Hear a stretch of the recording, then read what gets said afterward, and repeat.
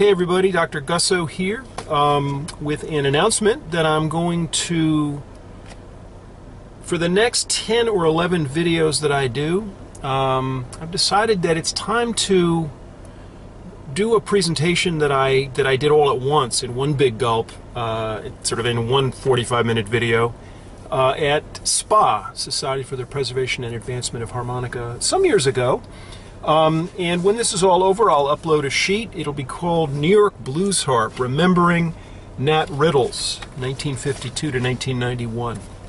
In, you may not have noticed this, or maybe you have noticed this, but the blues world is, at this particular moment, sort of in the aftermath of the kind of insurgent uh, uh, uh American response to George Floyd's murder. The blues world itself is having a kind of Black Lives Matter moment. Um, and it's interesting because I have a book coming out this fall called Whose Blues Facing Up to Race and the Future of the Music. I'll be talking about that a lot more um, in the future. Um, not right now, but what I want to. The opening line of that book turns out to be incredibly prophetic. And the opening line goes like this let me see if I can do it from memory. The blues world, the contemporary American mainstream scene, and its discussants, the people who discuss it, has a race problem. So we're in a moment right now, and, and blues has gone through this at various periods, and the book, in fact, talks about that. Um, certainly in the 60s, it went through that with uh, the black arts movement. It's going through a period where the blues are getting heavily ideologized, and where the phrase blues is black music is being highlighted in ways that sort of began a few years back with Corey Harris on one of his blogs. Anyway, I'll be talking a lot more about this in the future. But I decided this is the right moment to share with you my whatever audience I've maintained, built and maintained over 13 years, a sort of different perspective. Um, uh, a sort of yeah, blues is black music, blues is American music, blues is global music, blues is black and white music. Blues is ideally a place where, ideally, at its best, the blues world, and certainly this is true in America, and I suspect it's true for you uh, folks in France, in England. At its best, the blues world is a world where Reverend Martin Luther King Jr.'s idea of beloved community, the idea of sort of the true interrelatedness of black and white, is is is born, is nurtured, and where real connections are made. You could say across race lines, but sometimes those lines aren't really lines. Sometimes they're actually just fairly unself-conscious connections. And I was lucky enough to have a mentor, Nat Riddles, who I met when I'm thinking about 1985, so he would have been 33 and I would have been 27. He was six years older than me. He seemed much older and much hipper. And so not exactly a big brother, but there was a way in which our relationship developed in that direction. Um, to the point where one night we both basically kicked, we, we'd had a lot to drink. We were down where he was living in Virginia. We just basically parked by the side of the road and kicked our seats back. I turned one way and he turned the other, and we slept side by side in a little in a car. That's the kind of life we lived as as not blues brothers with the hats and sunglasses, but as true blues brothers.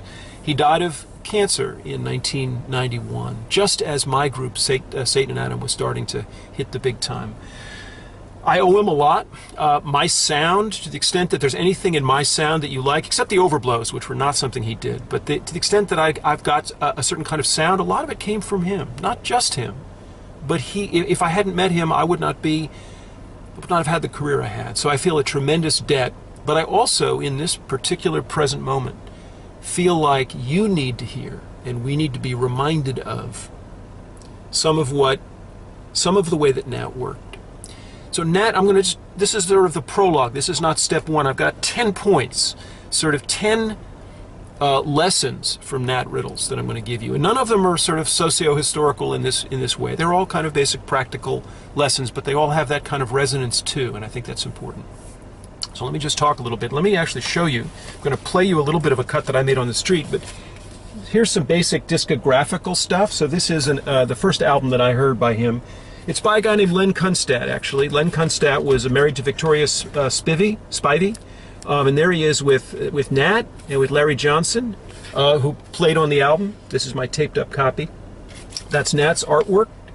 Nat was a graphic artist of Pratt Um, and I've got a few of these. So here's one that was a sort of the follow-up on a big on a German label, Horst Lippmann's German label. Uh, Larry Johnson and Nat Riddles Johnson. Where'd you get that sound? And then uh, uh, an album that Nat made with Charlie Hilbert.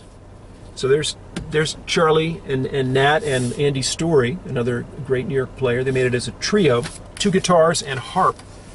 When uh, at, when I was uh, at that point friends with Nat in New York, um, I gave him that shirt, Easy Reading, that harmonica shirt.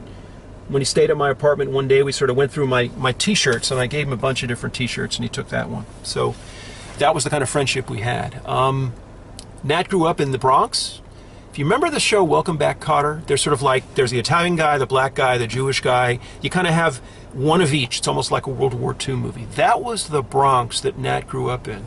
Um, Co-op City. He talked about Co-op City he grew up in an environment that was actually where whites and blacks got together and they weren't on each other's backs. Uh, they were actually just eating at each other's tables. He, ta- he talked about this, and he he, the old white, the old Jewish ladies were charmed by by Nat. Nat was a amazingly charismatic guy um, who had a lot of talents. But that was the world he grew up in.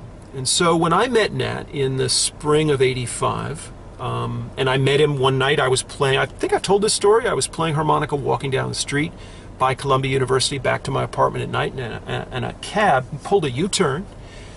Very dark skinned, young black guy kind of leaned over and said, Who was playing? Was that you? And I said, Yeah. You know, I just. He said, I thought it sounded good. I thought I ought to see who you. It sounded good. I thought I ought to see who you were. And that's how we, we met. He got out of his car and like, like harp players, you know. And he opened up a toolkit, and it was his harp box, and he had all these harmonicas, and he took a harp out, and he began to play. And uh, as I talk about this in, in Mr. Satan's Apprentice, he went through a series of players, and he didn't say, "Here's a white guy, here's a black guy." He went through and he, he did, he did, uh, uh, well, he did Big Walter Horton. He did, he might have done Sugar Blue. He certainly did John Lee Williamson. Um, he talked about Kim Wilson. He raved about Kim Wilson. Was one of, of course, white player. If we're going to do the racial sort, but you don't have to. But he talked about Kim Wilson having seen Kim Wilson, and then Sugar Blue, black guy, great street musician. The stories he told about Sugar Blue. Point is, for him, it, there was this blues harmonica world, and it consisted of great players. When he actually as we began to get to know each other, and of course I, I, I, knew some of these players, but most of them, like John Lee Williamson, I didn't. So he served as somebody who opened up this world for me. And he would talk about the guys that he had taken personal lessons from. And they were they were Jewish guys. Bob Shatkin, Lenny Rabinowitz, um, and there was one other guy who I met later on in, in New York who, who, sort of went, sort of came by one time when I was sitting outside, and so those Jewish guys. He also talked about Larry Johnson, the guitar player that he played with, and how Larry had all these lessons to teach. And so that was this is before I played with Sterling Magee, Mr. Satan. Um, but he talked about sort of his elder. Larry was his elder. So the blues world that he evoked for me, and that I came into when I first got somebody who became a teacher. The blues world that he evoked for me was a world that contained white and black, and it was a panoply, a sort of a, a, a multiplicity of influences, of greats. And he didn't say, these are the black guys, these are the white guys, the black guys really have it, the white guys are sort of faking it. That's not the way he talked. And by the same token, he didn't, to the extent that he showed me stuff, I never felt like he was holding something back. Now, he didn't try to pretend that my experience of the world and his experience were identical. And there were moments where I would see, and he would actually talk to me. He actually told me a story about one time about, and it's in Mr. Satan's Apprentice, about having given up a white guy a, a ride when he was driving a cab. And the guy, he said the guy got out and wouldn't pay him. And he, and, and they, he, Matt, Nat said basically, don't, man, don't do this to me. You can't, don't do this to me. And the guy, and Nat basically said he hit him. Nat hit him. And he wanted me to empathize with the fact that he felt he needed to hit the white guy. So that's what Blues Brothers share. Um, I realize none of this so far has anything to do with harmonica, but it actually really does, and it has to do with my vision of the blues. There's a famous book called The Gift by a guy named Lewis Hyde. I write about this in Whose Blues. Lewis Hyde uh, was not a musician at all, but he said gifts only live when you give them away. Now that cuts against a lot of the way we tend to think. It certainly cuts against, I imagine, the way that somebody with a possessive investment in the music in racial terms would want to think. Give it away. Why would I give it away? It's being stolen from me anyway, right? So we have to always frame when we throw out a line like that, and yet still, a gift only lives when you give it away, which is a way of saying when we share freely of our gifts, of our bounty with each other, we gain and they gain, and everybody gains. And that's been from the beginning. I, I invoked Lewis Hyde's, that line from Lewis Hyde's book. Uh, early in 19 in, in 2007 when I first started doing these lessons. That was why I said I'm going to give it all away. It was Lewis Hyde. But it was also Nat. It was all and, and that's why I'm going to do a series of lessons for my on behalf of my teacher and on behalf of what he taught me about how the blues world can be. Now, does this mean that if somebody says blues is black music, we have to bridle and go, wait a minute? No, I think actually it's fine to say, well, I mean, of course it is. And once it's, how could it not be? How could it? How could blues not be black music? I, um, but if you're saying that to create a hierarchy of virtue in which somebody like me is less invested in it, has less right to play it, I don't agree that with that partly again because the person that taught me, the African American player who taught me, said, steal from everybody, always acknowledge where you got what. And again, this is in Mr. Satan's Apprentice, so this is not all new. Always acknowledge where you got what. Who did you who did you get that from? Did you come up with something original on your own? I thought about that when I when I uh, when I did my solo album, and I felt for the first time with songs like Sunshine of Your Love and Crossroads Blues, where I was mixing Clapton and Robert Johnson and Cream and then doing my own thing. And I was a one man band, but I wasn't Mr. Satan's harmonica player anymore. I was doing my own thing. It's very important we find our own thing. So that's why I'm going to come to you with these lessons. So, what I want to do is I want to play you a little bit as a sort of prelude, a recording that I made on the street of Nat doing Big Walter Horton's easy. And I'm going to then upload the entire track. But this was a track, I got it on a boombox on the street, and I listened to it again and again and again. And I got so much out of it. Matching my sound, so I copied Nat. I'm not gonna. I, I, will never try to pretend that my that my sound does not owe hugely to Nat's. It owes to Jason Ricci. It owes to Paul Butterfield. It owes a little bit to Sonny Terry. A lot to James Cotton, to Sugar Blue who first did the high note thing that blew me away because Nat pointed me at Sugar Blue and said, You need that because I heard you play in the high notes. Right? What's a good teacher? Somebody who sees, who hears potential in you and who says, You need this. Now, I can't be quite that teacher for you. Wish I could, but I can't. And if you send me emails and say, listen to me play, imagine if you had an, your, my email's out there. So how many of you can I listen to? But but I'm really happy anyway. At the people who are out there, at you, I'm pointing at you, you're one of the people out there right now, right now. That you're taking something that I'm putting out there and you're doing your thing with it. And you know what gives me real pleasure? And what I talk about in, the, in my book? The fact that if we think the conversation about the blues is just a conversation between black Americans and white Americans, we are so old fashioned we are missing so much. We are so out of touch with how the blues is actually working in the world. Nothing makes me happier than when I go online, as I did, um, I, as I've been doing recently, and I see somebody who's not American, somebody who might be Korean. There's a Korean woman, uh, uh which I'll, who I'll be talking about. I'll be sharing some of this stuff. Who who plays one of her Gayageum, I think it's called. If you're from Korea, you're laughing at me. Gayageum. And she does all this old, like, Elmore James. Except it has this weird, for us, for our Western ears, tonality. I love that. You're taking the blues. How could it not be black music? It's an Elmore James tune. How could it not be? And yet you're saying, I can do my own thing with it. I'm invested in it. I'm expressing myself through it. To me, that is the genius of this music.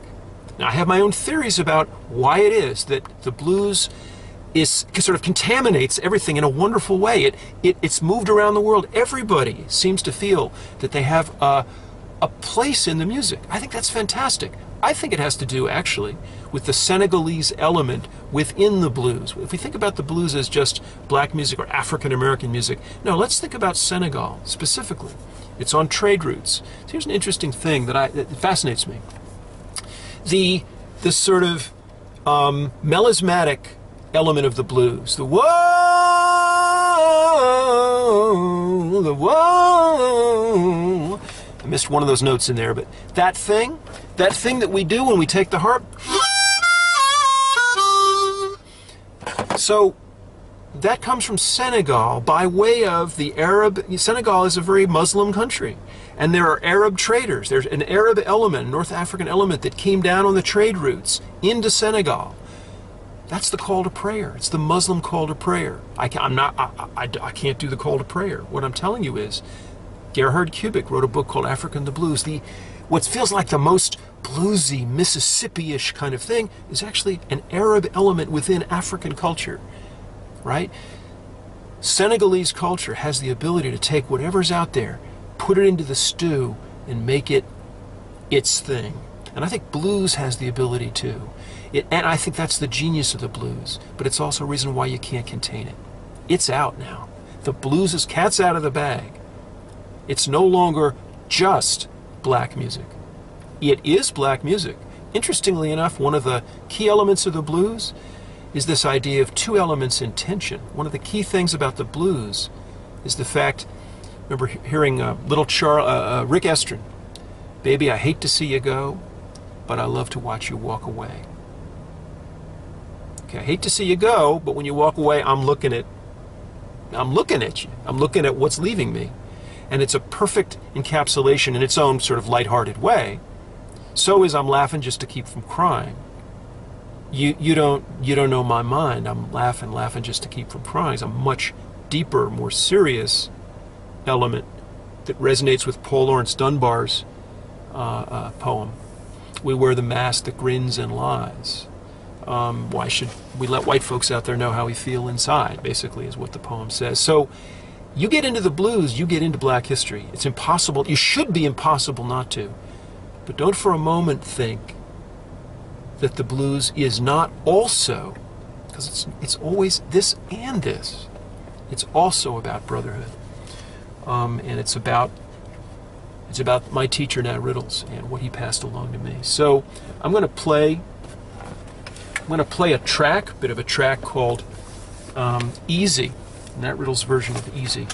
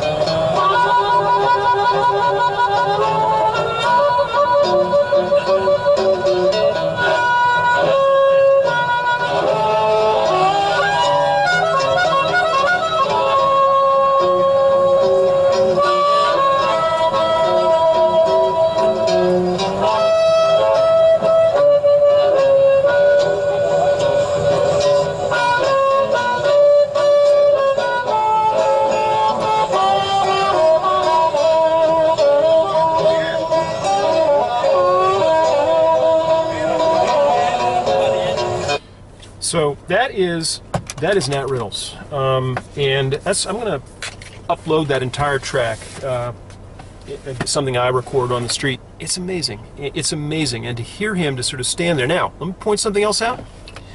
Um, you want to do the racial sort on blues, contemporary blues?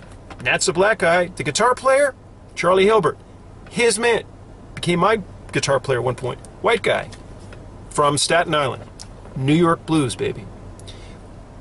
The blues world, and they were brothers in terms of working the street, and Nat was in charge, and Charlie was behind him, supporting him the whole way. Beloved community. Beloved community. Blues is black music, blues is black and white music. Blues is what Nat would say. He did his thing called El Cafe Street. He would say, Blues is American music. It's the best we got. Welcome, everybody. He was, was always welcome, welcome. He set the table.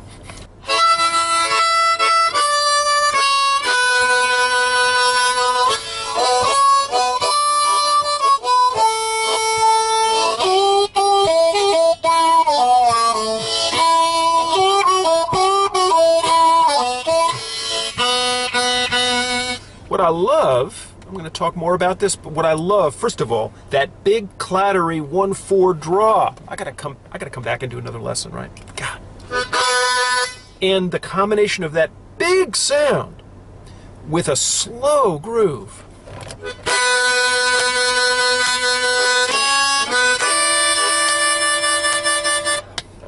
You know what? That's not what he's doing.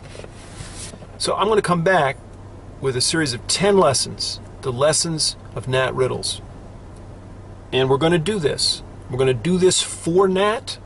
We're going to do this for the principle of kind of ecumenical harmonica stealing, the sort of stealing of licks from wherever we hear something nice. We're going to acknowledge where we got what. So these are not key lessons, but then they're not numbered lessons, but these are actually Nat's key lessons. We're going to try to welcome people to the party. We're going to try to welcome people in. Okay? And we're going to try to draw a few fewer lines, understanding that brotherhood is real. Some of us have lived it, and those of us who've lived it need to testify. Okay? I'll be back with you soon. Bye bye.